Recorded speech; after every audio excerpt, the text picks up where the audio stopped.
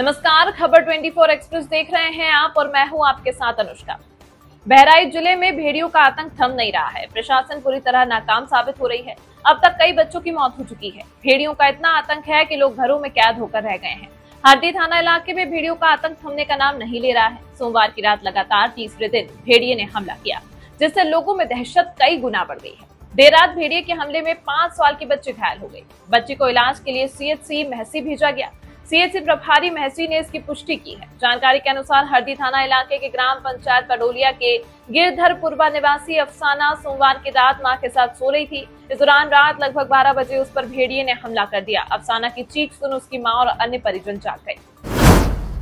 उत्तर प्रदेश के बहराइच ज़िले के 35 गाँव के लोग आदमखोर भेड़ियों के खौफ में रह रहे हैं। इन गाँव में लोग रात रात भर जाकर घरों की रखवाली कर रहे हैं। वन विभाग ने चार भेड़ियों को पकड़ लिया है, लेकिन अब भी दो भेड़ियों ने आतंक मचा रखा है। रविवार की रात भेड़िए के हमले में एक ढाई साल की बच्ची की मौत हो गई। इससे पहले भेड़ियों ने एक बच्चा, एक महिला और बुज़ुर्ग पर हमला कर घायल कर दिया था।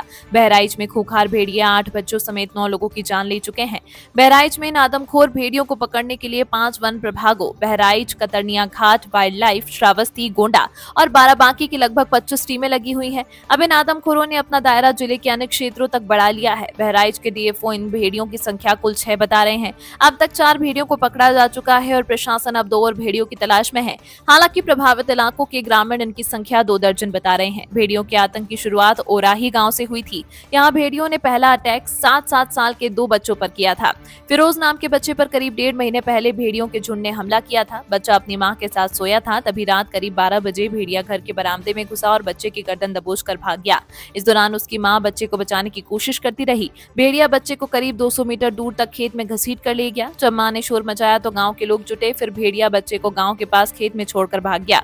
लहूलुहान बच्चे को परिवार और गाँव के लोग अस्पताल ले गए, जहाँ तेरह दिन तक इलाज के बाद बच्चे की जान बची। उसके चेहरे, गर्दन, सिर, कान, पीठ और छाती पर निशान है।